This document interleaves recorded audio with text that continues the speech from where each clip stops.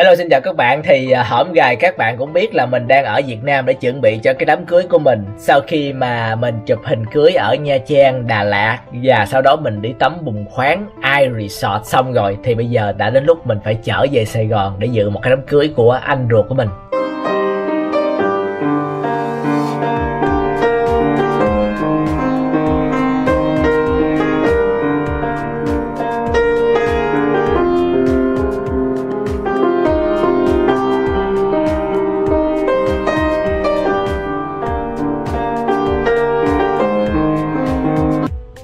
Thì trong cái chuyến đi lần này á, là cái mục đích là để tổ chức đám cưới cho mình các bạn. Cái cái mục đích của cái chuyến đi Việt Nam 2015 là để tổ chức đám cưới cho mình với con vợ mập của mình. Nhưng mà anh mình thấy vui quá cho nên anh mình cũng bút vé để đi về theo và anh mình tổ chức đám cưới cho anh mình luôn các bạn.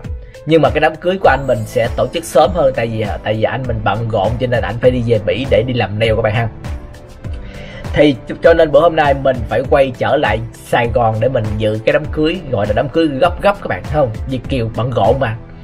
Thì các bạn biết không? Đám cưới á, là bây giờ ở bên Việt Nam nó có hai loại đám cưới các bạn. Đám cưới theo kiểu truyền thống có nghĩa là đám cưới cây nhà lá dừa hay là gọi là đám cưới kiểu miền Tây đó thì cái đám cưới này á, là được người người Việt Nam mình rất là ưa chuộng. Có nghĩa là các bạn sẽ dựng một cái rạp ở trước nhà. Xong rồi các bạn sẽ để bàn ở đó rồi bàn bạn ăn không? Đám cưới theo kiểu miền tây là như vậy không? Rồi tối thì kéo xuống khách sạn đó. Nhưng mà bây giờ dân dân Sài Gòn họ đang chuộng cái kiểu gọi là đám cưới ờ, hiện đại đó các bạn. Có nghĩa là họ sẽ không dựng cái rạp ở trước nhà nữa mà họ là họ họ sẽ kéo xuống sảnh của nhà hàng khách sạn họ luôn ăn luôn đó các bạn nhé thì đó đó chính là đám cưới theo kiểu hiện đại. Và anh mình đã anh mình đã chọn cái đám cưới này các bạn. Cho nên bữa hôm nay mình sẽ chia sẻ với các bạn cái đám cưới này. Thì uh, các bạn biết không? Sở dĩ mình uh, mình chia sẻ với các bạn đó là tại vì á các bạn biết không? Có nhiều người Việt Nam giống như mình á mặc dù họ sinh ra ở bên Việt Nam các bạn nhưng mà họ lớn lên ở Mỹ.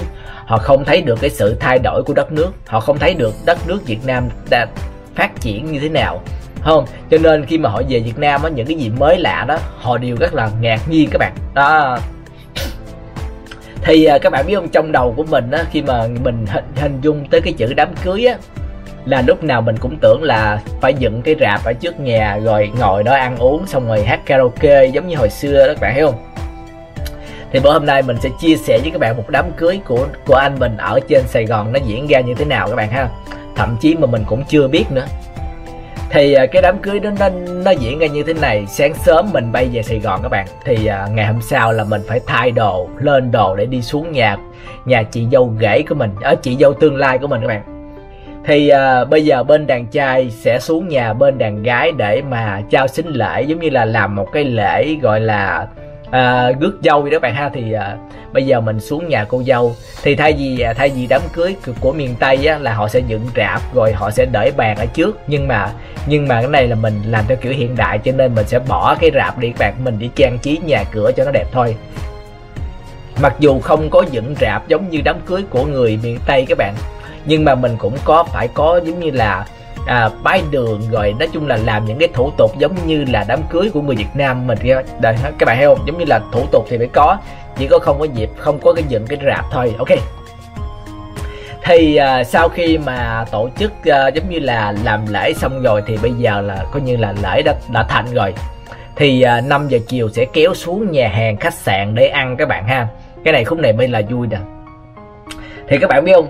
Thì à, các bạn biết không? Hồi xưa mình khi mình coi phim Hồng Kông đó các bạn thì mình thấy cái cảnh mà cô dâu à, chú rể hay giống như là vô lộn phòng các bạn mình mình coi khúc đó xong mình cười không? Làm sao mà có thể uh, vô lộn phòng được các bạn? Giống như là giống như là cô giống như là bây giờ trong cái chỗ tổ chức đám cưới đó thì uh, dĩ nhiên là chỉ có bữa đó chỉ có một mình đám cưới của mình thôi làm sao mà mà vô lộn lộn phòng được? Làm sao mà mà nhầm cô dâu được các bạn?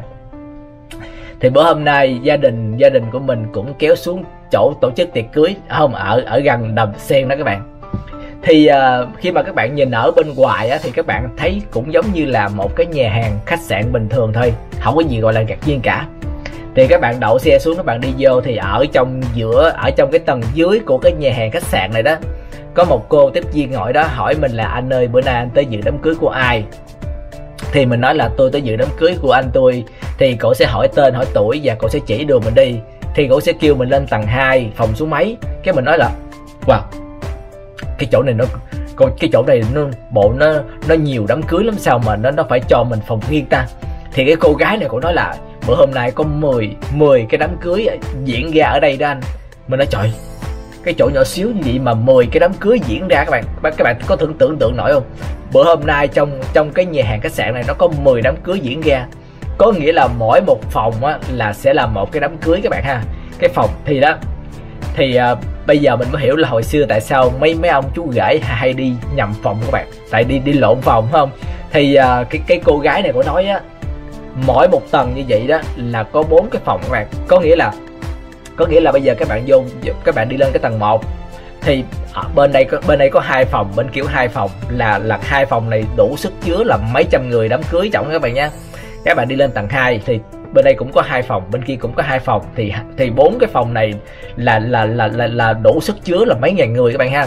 Thì các bạn lên tầng 3 cũng vậy tầng 4 cũng vậy. Nói chung là mỗi một tầng như vậy đều đều có bốn bốn cái phòng. Thì cái bốn phòng tiền này đủ chứa hơn 300 người các bạn đó, cho nên cho nên các bạn muốn tổ chức kiểu này á, các bạn biết không? Các bạn phải đi đúng phòng, các bạn đi lộn phòng á, lúc mà người ta kêu chú rể tới, bước ra, ủa, nhỏ đâu phải vợ mình? Đó, đi lộn phòng là coi như là là chết đó nha. Thì, bữa hôm nay mình mình bước vô chỗ này các bạn, thì mình hỏi cô tiếp viên là, ok, bữa nay đám cưới của anh tôi phòng số mấy? Thì cổ kêu mình lên tầng 2 phòng số 4 bạn, thì mình phải đi lên tầng 2 mình phải đi xuống tầng số 4 thì mình mình phải đi xuống xuống phòng số 4 bạn thì khi mà mình lên tầng 2 á thì cái phòng số 1, số 2, số 3 đó cũng có người đứng ở trước các bạn. Là trời mình nói wow quá trời khách luôn bạn. Thì lúc này các bạn biết không mình nếu như mà mình mình hồi xưa mình coi phim Hồng Kông á mà nó trời đi kiểu này chắc lạc chết. Giống như bữa hôm nay mình mình mình tới dự đám cưới bạn mình đi lên tầng 2 các bạn thì mình lên chỗ là chỗ nó đông nghẹt người luôn bạn. Mình không biết ai là ai luôn. Mình nói ủa trời ở đâu mà người lão á trời. Thì ra là những cái người này không phải là thuộc về đám cưới của mình mà những cái người này thuộc về đám cưới của phòng số 1, số 2 và số 3 các bạn. Cái phòng số 4 nó nằm tu lút lần kia kìa. Thì mình phải đi xuống. Thì khi mà mình đi xuống phòng số 4 rồi thì mình mới thấy cô dâu chú rể đó chính là thằng anh của mình với con chị dâu của mình đang ngồi dưới đó. Thì lúc này mình mới thấy người quen nè. À đi lộn phòng là là coi như là xong ấy. Vô ngồi ăn cả buổi. Ủa sao tôi không quen ai vậy trời? Đó như vậy thì các bạn đã thấy cái kiểu đám cưới hiện đại rồi không hồi xưa ở bên ờ, ở ở miền tây á, đám cưới có nghĩa là các bạn xuống nhà hàng, phải không? Thì thì bữa hôm đó cái nhà hàng chỉ phục vụ một mình bạn thôi. Tại vì tại vì mấy cái nhà hàng hồi xưa đó họ chỉ phục vụ cho một cái đám cưới một lần thôi. Nhưng mà mấy mấy cái nhà hàng tiệc cưới bây giờ đó họ có thể phục vụ 10 cái đám cưới một lúc bạn. Họ có rất là nhiều cái phòng không? Mỗi một phòng là chứa hơn 200 người. Không, mà mà bây giờ các bạn hay gọi là sảnh đó, nó, nói chung là vậy đi thì các bạn biết không khi mà mình bước tới cái cái phòng đó các bạn thì mình mình thấy quá đông người luôn mình không biết ai là ai các bạn. Nếu như mà các bạn lần đầu tiên các bạn tới á nó thật sự các bạn cũng chón luôn chứ nói gì là mình ok?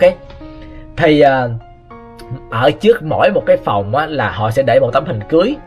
Thì ở trước mỗi một cái phòng á họ sẽ để một cái tấm hình cưới của cô dâu và chú rể. Cho nên nếu mà như mà các bạn không biết cái phòng nào là đám cưới của gia đình mình á thì các bạn cứ nhìn vô cái tấm hình cô dâu chú rể để ở trước cửa đó là các bạn biết rồi, ok?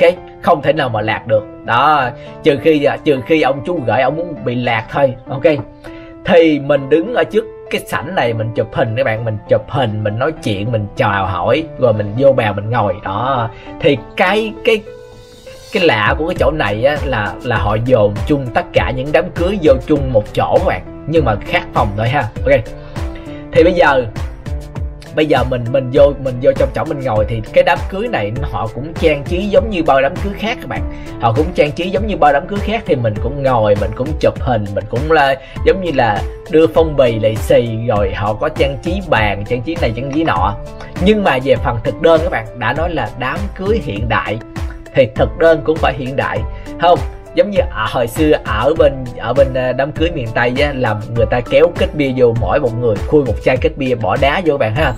Nhưng mà đám cưới đám cưới hiện đại họ họ không cho mình khui bia các bạn. Họ họ để bia trong một cái ca đó cái ca nó cũng rất là sang các bạn. Giống như hồi xưa ở bên ở bên Việt Nam á đám cưới á, mà trong uh, mấy cái miền Tây á là họ sẽ để bia lên bàn để bia lên bàn ai ai khui uống uống uống xong rồi lấy chai bia để dưới đất luôn phải không? Nhìn nó nó hơi nó hơi dân dã chút xíu các bạn. Nhưng mà cái đám cưới này khác nha. Không, họ cho các bạn uống bia bằng ly, gọi là ly uống rượu á. Uống uống bia mà uống uống bằng ly uống rượu mới sốc nha các bạn. Xong rồi, họ mới lấy họ mới, có một người, các bạn biết không? Hồi hồi xưa đó là giống như là không có người đứng phục vụ bàn các bạn. Các bạn các bạn phải tự gót nha, các bạn. Khu bia nè, gót cho anh nè, gót cho chị nè, gót gót gót gót nhưng mà bây giờ mỗi một bàn là có một người đứng phục vụ giống như là mình mình uh, có ly bia đây phải không? Thì có cái anh kia anh đến gót mình uống xong mình vừa uống hết là anh kia anh gót tiếp các bạn. Mình uống hết là anh kia gót tiếp. Đó. Rồi bây giờ lên món các bạn thấy không? Lên món.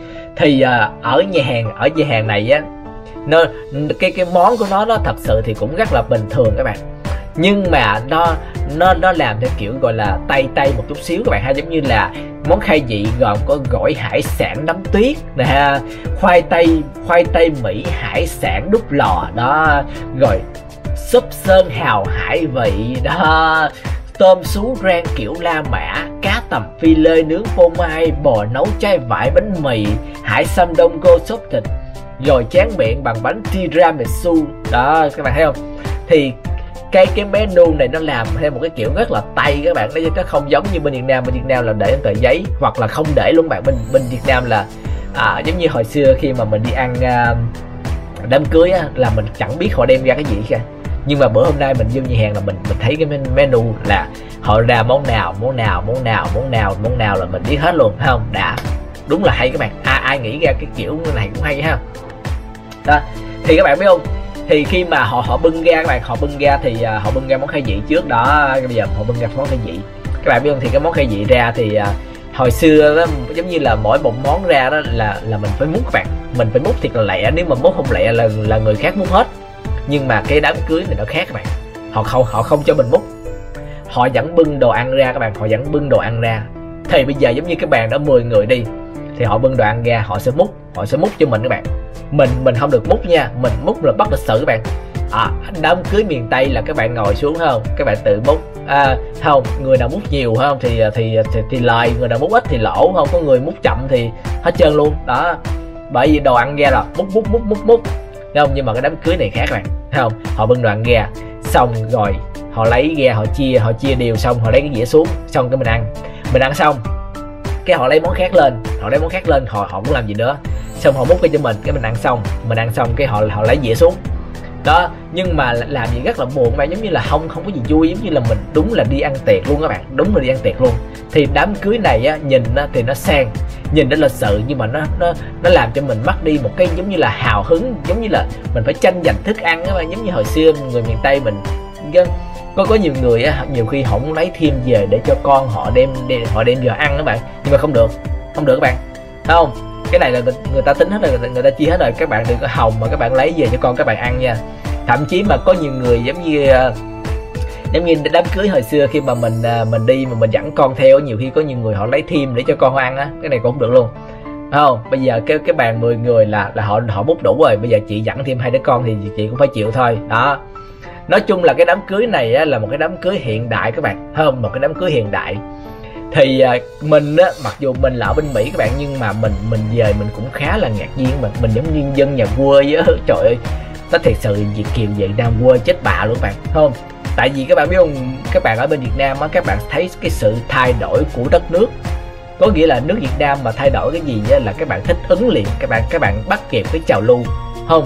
Còn những cái người mà đi mỹ mười mấy, hai chục năm mới về một lần như mình đó thật sự thì chẳng hiểu nổi các bạn. Không? Quên chết đi được. Đó. Không? Mình mình mình quên một cục luôn bạn. Giống như là không? Bây giờ bây giờ đó thật sự đi mấy cái chỗ này nhiều khi mà người Việt Nam còn phải chỉ lại người bên Mỹ nữa các bạn. Đó, đừng nói là người bên Mỹ chỉ người Việt Nam mà người Việt Nam phải chỉ lại người bên Mỹ nữa. Tại vì mình không theo kịp được cái trào lưu phát triển của xã hội các bạn ha. Thì đó chính là cái trải nghiệm về đi đám cưới ở Sài Gòn các bạn thì nếu bây giờ các bạn thấy cái video này hay và các bạn vẫn thích nghe cái cuộc hành trình của nhân lì, thì hãy bấm like like like like để mình kể tiếp cho các bạn nghe. Tạm biệt các bạn.